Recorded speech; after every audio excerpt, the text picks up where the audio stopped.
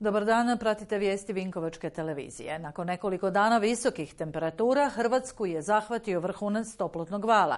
U cijeloj Hrvatskoj zabilježene su iznimno visoke temperature. Živo u termometru dosegnula je u nekim krajevima i 40 stupnjeva. U Vinkovcima se popela na visokih 38 stupnjeva Celzijevih. Slično je bilo i gradovima u okružju. Razlike su zabilježene tek za 1 do 2 stupnja. Da nam danas neće biti niti malo lak dan, uvjerili smo se već ujutro, jer su temperature bile iznimno visoke. U našem i u okolnim gradovima jutarnja temperatura kretala se oko 22 stupnja Celzijevih. Zato su svi koji su morali obaviti neki posao nastojali to učiniti do 10 sati.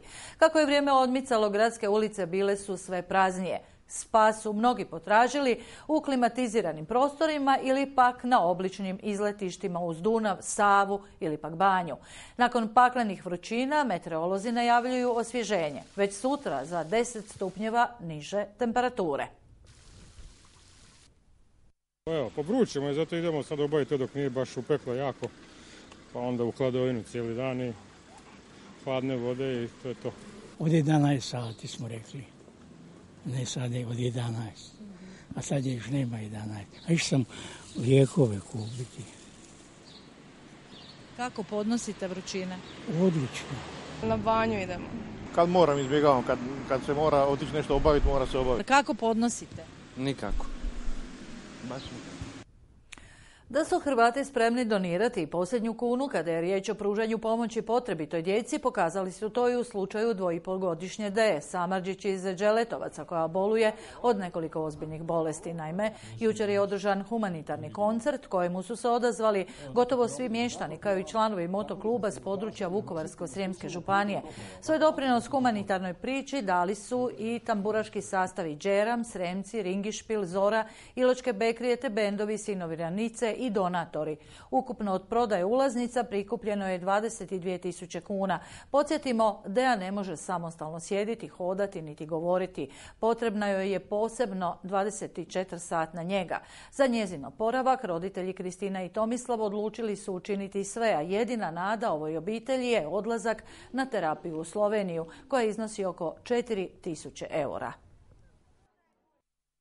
Zahvaljujem svim ljudima dobre volje koji su došli i podržali, koji su nam pružili pomoć i veliku potporu da pomognemo našem malom anđelu. Da je ovaj novac potreban za rehabilitaciju u Sloveniji, e, njoj će to pomoći za njene vježbe 10 radnih dana. Mi se nadamo, mi se nadamo da će njoj ići biti bolje i sve to tamo ko što je do sad bilo i mi se ne predajemo, mi idemo dalje.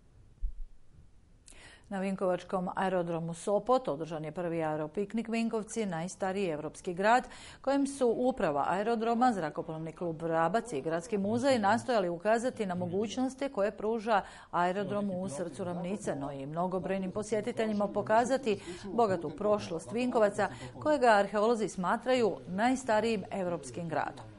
Uz prikaz vježbe pripadnika Vinkovačke vatrogasne postrojbe, gorske službe spašavanja i hitne medicinske pomoći, prvi aeropiknik u Vinkovcima ugostio je i zrakoplovce s oko dvadesetak zrakoplova s područja Hrvatske i susjednih država koji su sudjelovali na natjecanju u rutnom letanju te preciznom sletanju.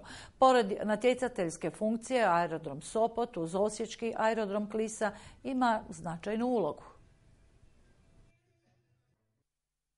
Rezervni emergency zrako, aerodrom definitivno da. Je li Airbus ako ne može sletiti na klisu, a mora sletiti, on će sletiti ovdje. To nije, nije problematično, da.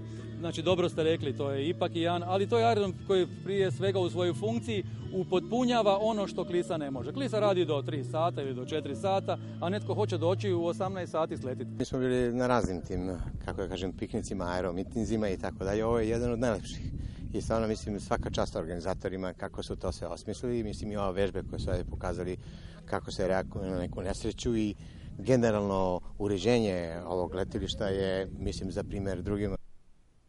Sport.